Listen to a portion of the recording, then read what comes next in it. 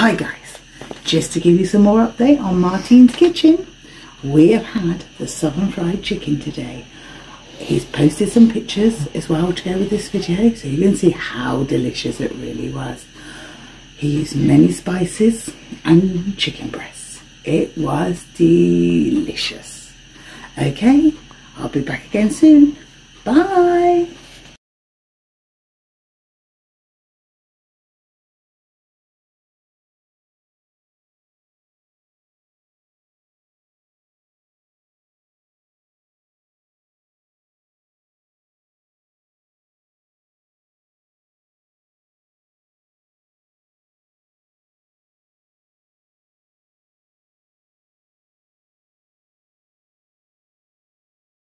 Hi guys, we have just had the lovely southern fried chicken. It was delicious.